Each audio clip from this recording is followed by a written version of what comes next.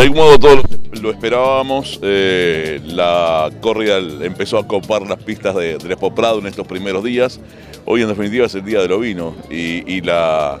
corrida no podría, no podía faltar. Estamos con Juan Echeverría, el presidente de la Sociedad de Criadores de Corrial, bueno, se está jurando en este momento la puro de origen, eh, como siempre provoca mucha eh, atención a los, a los criadores. ¿Cómo, ¿Cómo está la raza en estos días? Bueno, la verdad que muy bien. Eh, primero todo tengo que apuntar a agradecer a todas las cabañas participantes, que este año la Corria está cumpliendo 80 años. Y bueno, desde comienzo del año le pedimos una especial participación este año para,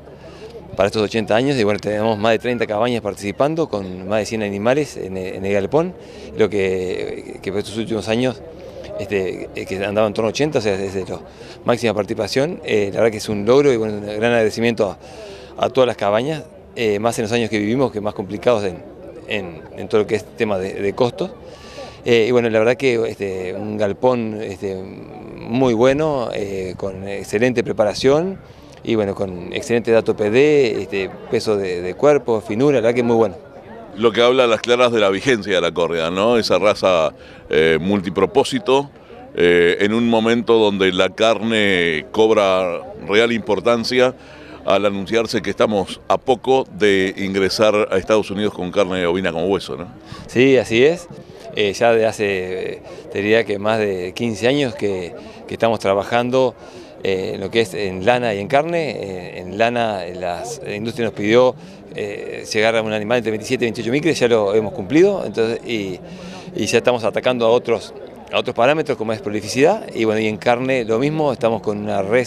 eh, eh, la verdad que muy buena, reconocida a nivel mundial, que es la, res eh, cordial y bueno, este, seguimos este, trabajando y, para lograr lo que, hoy tenemos aquí en, la pista y bueno, ahora buscando otros puntos como que es prolificidad para, para mejorar la, rentabilidad del rubro. Sabemos que se viene trabajando intensamente la selección genética para el mejoramiento de la carne, bajando el engrasamiento propio de, del corrida, lo cual se va logrando año a año y con el esfuerzo de todos los productores. Eh, ¿Hacia qué se apunta concretamente con la búsqueda del mejoramiento de la calidad de carne de corrida? Eh, bueno, eh, buscamos, eso es, un trabajo en conjunto que se hace con el SUL, con el Línea, también participando la, industria frigorífica y bueno, eso que, que nombraba, este, no, buscar animales este, no grandes sino muy carniceros eh, para los, mercados que, corren y bueno, y ahora, si os quiere, esperando por el mercado de,